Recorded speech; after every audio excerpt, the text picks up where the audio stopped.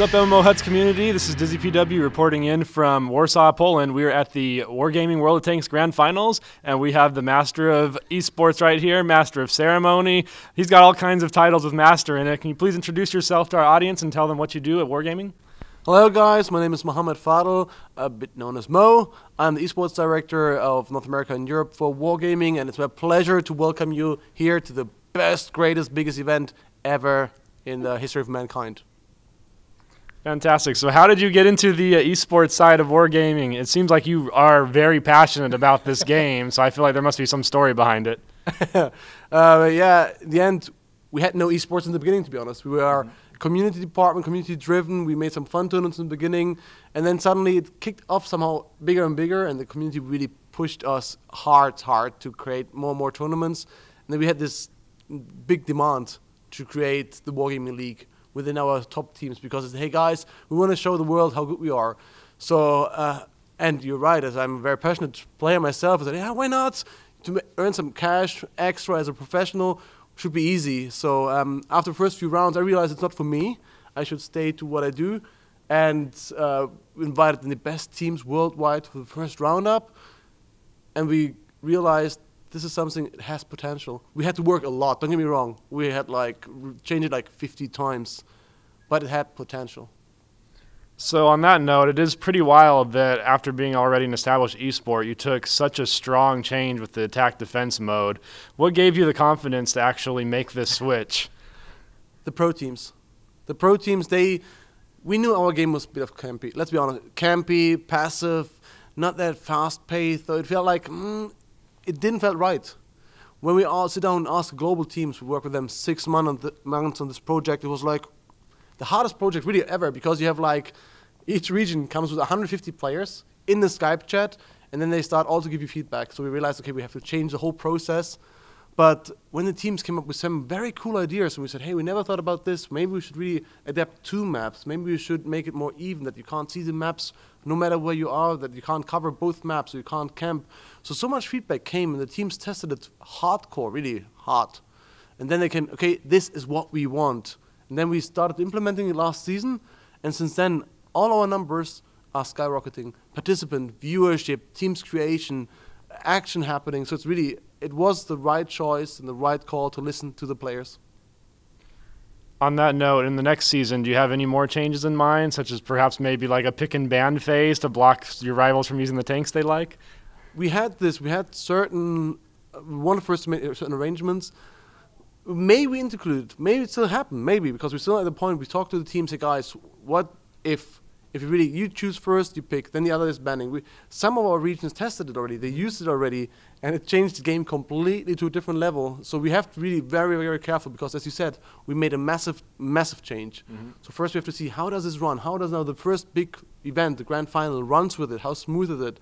Take then the feedback and then make the re- next step. Hopefully the right one.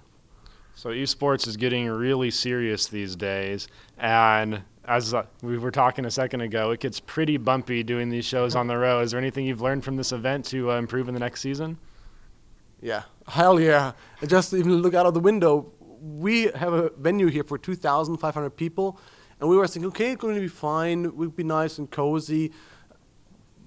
yeah, uh, we came in the morning, eight o'clock, four hours before the opening, and we saw a queue, and we realized, okay, this is our first learning. We should have gone way bigger so then we even we built up a TV outside, two of them last minute, really last minute call, another one tonight. Overnight, they built another TV for the queues outside. So we have like yesterday, 10,000 people in total for an event which fits 2,500. So I said, okay, we had, there are a lot of learnings, let's say it like this, and we need to be bigger next year. And more food trucks for sure. Yes. When you see the, really in the, in the, peak time when everyone runs out, when like there's a break, and you see food trucks like a queue is then for like half an hour, and they say, ah. But in the end, we have already four food trucks. So I thought four food trucks is enough. Everyone thought so. so, have you guys considered using the rising popularity of Wargaming's esports as a way to promote your other two games in the lineup? It's hard to say. We I don't think we want to do this at any time with mm-hmm. esports because esports is something which is driven by the community. we, you need a community. You need a critical mass of community to drive esports. No matter what, you can't do it vice versa. You can't. It's uh, we were best example because we had no idea to make esports in the first place. The community pushed it on us. So I strongly believe if you try to promote and force something down on the community, hey, look at this product, play it, it's esports. It doesn't work. It doesn't work. What we will do, especially warships now coming out soonish, mm. that we give them a base like a, a potential ladder system, a tournament system where people can start very grassroots style, building their own teams, compete on a very low level, and then we will closely focus it and look at it. Will it change the behavior? Will some superstar teams uh, come out of nowhere? Then we will make the next step, but we won't force it down. So that brings me back to the real meat and potatoes reveal of this tournament was the actual rise of the bronze, silver, and gold league. Can you give us an overview of that system that you're going to be implementing next season? Um, so we want to create a career path, a system which allows a player from home who's like a casual Joe to really, if you want to step up, to have a very clear vision. Next step, what can I do to reach the next level? So we have the bronze, bronze league, the bronze level in our system, which is like including ladder system, fun tournaments, uh, single player tournaments, a lot of things which just uh, everyone can participate in without having any commitment or needs really a team, a strong team, or any. but just to make the first step to say, hey, is it something for me? Do I like the competitive market? Is it something I want to play with my friends? Then at this level already, we try to connect players. We mm. want to create an, uh, we were creating right now, we hopefully publish it within the next months, uh, mod, which allow teams to sign up from in-game, in the client. They sign up in the garage to tournaments. They can highlight certain players I want to play with. Hey, I played with you last time. You don't know me, but I want favor, uh, to put you in my favorite list. So next time I see you playing, maybe I can join you. Hey, let's play together. So at this level bronze, we try to connect people, connect talent. Then the silver is more like the semi-pros because they already have established system, they have a hard team. These guys already have a chance even to participate in big tournaments like WCA where they can win $100,000 partner to, uh, tournaments. These guys, we have like a system which allows them to have a real league. It's a real league system with seven versus seven. They have points, they have rules they have to follow. And they get something in return from us. We give them visibility, meaning if a team is quite good or wants to be promoted, we promote them to our channels. We give them viewership. We give them connections to sponsors. We build, we help them to build a brand around themselves at this level. And then we have the top, the 12 gold teams in each region. These are the superstars. Of, often they have already partners. Mm -hmm. But what we plan to do is we give them salaries. This year we're starting to give them salaries, each region 750,000 USD for the 12 teams, half of this money will be paid out by, based on their ranking, meaning like in a normal league. The best one gets the most prize money salary, and it goes down to the last one. The other half will be paid depending on their creation of content. How good are they to create a brand around themselves? Because our vision is that these top 12 teams are able to sustain without our help in the end. That we don't need only wargaming. They can.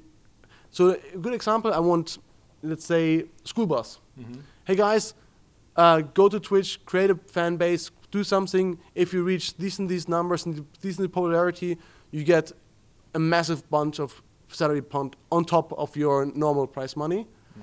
The idea is that they will do this then, mm-hmm. and then they realize, hey, wow, cool, we made some extra money from wargaming. But then they get money from Twitch, they get money from YouTube Live, they get money from additional sponsors because they have a big audience, and then they realize, hey, wait, we get way more money from the other sources than even from the league. So we are not depending on this league only. We can really focus on what we love to do, esports, without being afraid if something changes, if something the league changes, whatever changes, the product changes, the game changes, that we left without anything. So the goal is that the people really can even drop their job, mm. have a living, complete living from their team, from their brand, and not be scared, hey, maybe tomorrow they shut down everything. What happened then to me and my family? Mm. No, they have an income which allows them to do what they love.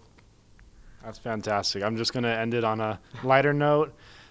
Me and the other guys were kind of joking and curious. Do you guys choose which girls carry the flags of which teams, or is there some kind of secret drafting system going on backstage we don't know about? Uh, it's a very good question because I saw them as well. I said, Who, who's deciding that? I saw already.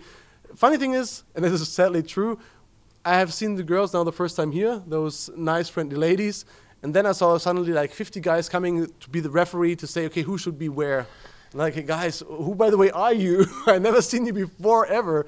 So I think they have their own system backstage with a lot of very passionate young gentlemen to decide uh, who should carry which flag, and the, for sure they help a lot to help those ladies who carry those flags. Fantastic interview. Thank you for your time. Thank you.